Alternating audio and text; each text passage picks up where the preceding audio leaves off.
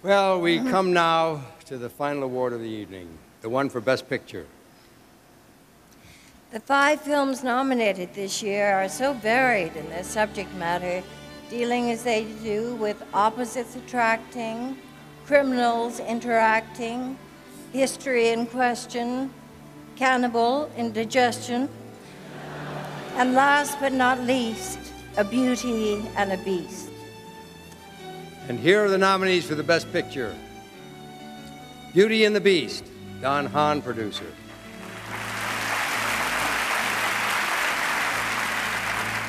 Bugsy, Mark Johnson, Barry Levinson, Warren Beatty, producer.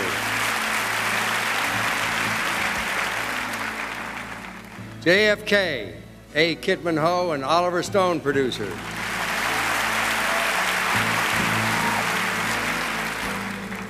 Prince of Tides, Barbra Streisand and Art Andrew Karsch, producer.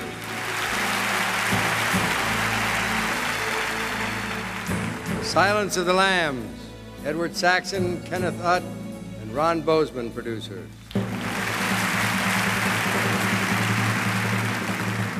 And the Oscar goes to The Silence of the Lambs. Ah!